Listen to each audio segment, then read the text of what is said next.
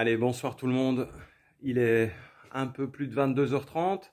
Donc on vient de passer à, à peu près deux heures de formation avec Nikon pour nous présenter le nouveau Z8. Alors, je vous en montre un avec le grip. Voilà, donc c'est bien un Z8. Et la version sans le grip. Voilà. Donc, on peut quand même dire que c'est un mini Z9 euh, sur pas mal de points. Mais par contre, la vidéo va vous apporter pas mal d'évolutions. Euh, il va y avoir en fait quelques petites spécifications supplémentaires. Les boîtiers seront disponibles à partir de fin mai, donc n'hésitez pas à précommander.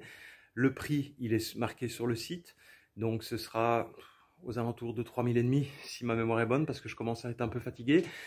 Euh, je vais vous revenir demain là-dessus pour vous donner quelques différences. Alors j'espère demain, ou plus tard après-demain, euh, parce qu'il y a quand même des choses à dire. Il y a des différences entre un Z8 et un Z9 qui méritent d'être soulignées.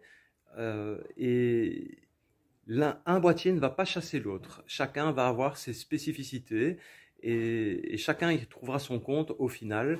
Alors on en discutera un petit peu plus avant. C'est pas ni le lieu ni, ni le moment. J'ai l'équipe Nikon juste à côté de moi et donc euh, on en discutera entre nous un tout petit peu plus tard. Je vous souhaite une bonne soirée, une bonne nuit et je vous reviens très vite. À bientôt.